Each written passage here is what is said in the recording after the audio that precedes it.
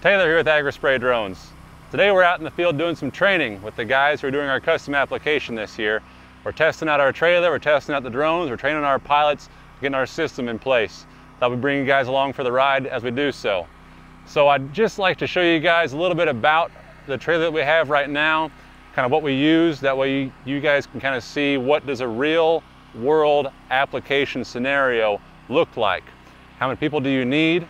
How do you do it safely? How do you do it right, how do you fill drones, takeoff, battery management, generators, all that kind of stuff. So I'm going to point out a few things. Let's take a look. So first off, you'll notice that we are refilling the drones on top of the trailer and landing the drones on top of the trailer, as well as operating on top of the trailer. So this is for a few reasons. First off, if we pull into a field, we always have a place to land. Some fields we pull into, the spot that's best to land is right where you just parked the truck. So for us, it doesn't matter. We always land right there. Secondly, the operators can see across the entire field, even in tall corn, which is really, really important. You know, line of sight is not just, you know, what you have to do legally, but if you can't see the drone, then how do you know, you know, it's doing the right job? You know, how do you know that you're gonna maintain communication, connection with the remote and the drone?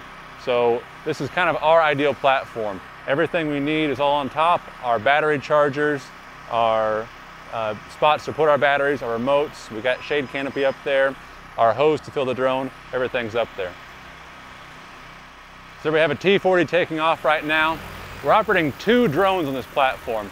So this T40 here is actually gonna go out to the field. He's controlling it right now. Then he's gonna turn it to the left and it's gonna start spraying on the uh, this side of the field. This T40 here just finished on that side of the field so it's coming back in for refill. We try to stagger our takeoffs and landings as best as we can. Now, you're never gonna get it perfect, but we're figuring we got about a six or six and a half minute cycle time. So takeoff to takeoff, which means we take one drone off, about three minutes later, we should be taking that second drone off. There you can see our operator up top grabbing a battery. He's grabbing his nozzle right now. He, you can see he's got, uh, we're testing this out right now. This is our, uh, our safety harness. We have a cable that goes uh, from, the, from the front to the back. And this is, yeah, just for safety. So if we get careless, if we trip over a hose, he's not gonna fall off the top of the trailer. All right, so generators. We've got two Westinghouse 9500 generators on the front of the trailer. Each of those power one of our chargers, and then one of those is running our mixing system. We run our cords from the front all the way under the deck to the back of the trailer. So let's go take a look at our mixing system and how we're gonna manage chemical.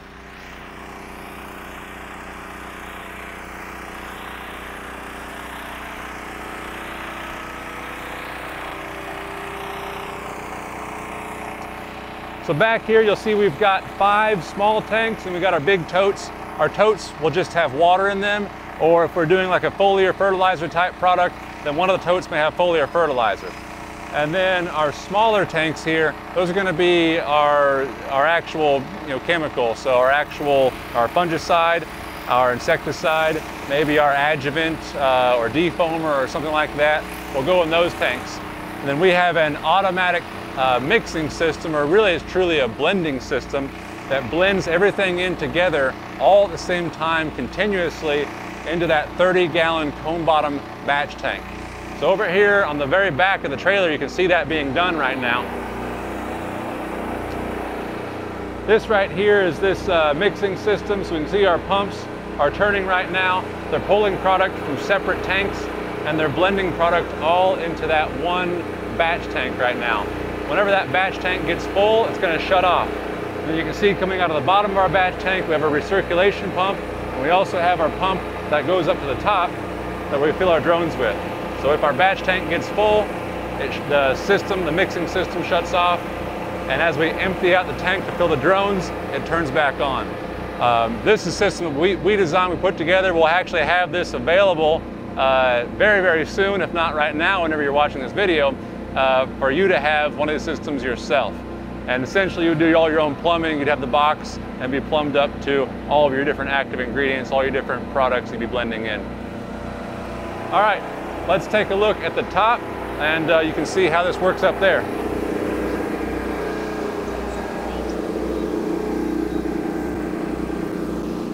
So we have a drone coming in right now.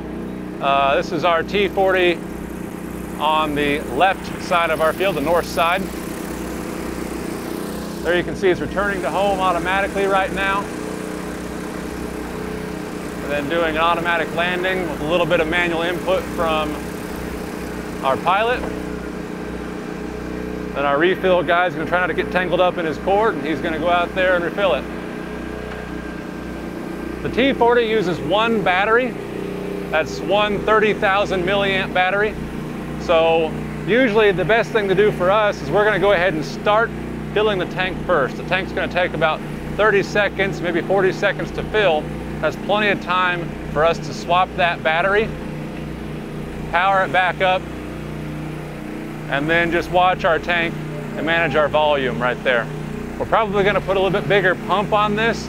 That way we can uh, do this process a bit faster. Our goal is about a minute on the ground. All right, there you see he's done with filling that tank. He's coming back. And we've got our pilot over here. Everything's booted up on the drone, so he's gonna go ahead and uh, reload. It's gonna go back to where it left off and continue from there. We've got a pretty large deck here. That way we can be, you know, about uh, 15 feet away from the drone. And we actually have a railing that we can stand behind, you know, just in case something happens. If, the, you know, if we lose a prop or lose a motor at takeoff, then we can be behind our railing. Um, that way we're not in any danger at any point in time. Uh, so right here, this is where we've got, um, you know, our, our hose that comes up to fill the drone. This is the nozzle system we kind of like to use. It works really well with our fill-through caps. Uh, Jordan here has got a shutoff uh, for the pumps. So whenever it's on, then this light turns on, just like that. Now the pump's on, and whenever it's off, light turns off. Because since it is kind of loud up here with the generator, we can't hear that pump downstairs. So this is a visual sign that our pump is on because we don't like to leave our pump on all the time whenever it's just deadheading into here. All right, back here's where our operators are at. And they're gonna manage the drones. Each of them has a remote in their hands. Uh, they are watching the drones, monitoring it on the screen, just making sure nothing goes awry while they're out there. Uh, DJI system is great because you can actually take over manually at any point in time with the sticks during autonomous operation. So if anything happens, if you want to you know, get the drone out of a dangerous situation, you don't have to think, just grab the sticks and fly it, which is nice to have two remotes and two drones, not just from a legal standpoint, but also because if you know one drone is being refilled and somebody you know has the remote for the other drone, the other drone's coming back to refill at the same time, we can very quickly and easily pause that drone on the way back without having to think about switching over on the remote to select our other drone. We just grab the remote for that drone. Over here we have our controller management system. Uh, so this is a box with a flip top lid on it. Uh, this has power in it. So our remote batteries will charge in here. Um, our remotes can charge in here. We have our monitoring system for our mixing station right here. So we can see the volume levels of all of our, um, all our pumps down, our tanks down below. And then we can see if the, if the pump is on or not. Right now it's off because the tank is full actually. Then down here, of course, we have our batteries and our, our chargers. That's really about it. Um, this is the job. This is what you do whenever you are, you know, spraying the field all day long. Then it's just a matter of making sure the drones are doing their job. And all the job you have to do is fill it, swap battery, take off again. It's uh, repetitive, but honestly, it's pretty simple. Uh, a lot of planning goes into it. And of course, there's, um, you know, you have to kind of think through the how you're going to, you know, do, perform some operations. Some are easier than others. This is just a big open field. Sometimes there's obstacles you have to navigate around. Um, and really our goal whenever we're, you know, operating in the heat of the season, so fungicide season, everybody wants everything all at the same time. So we have to be as efficient as possible.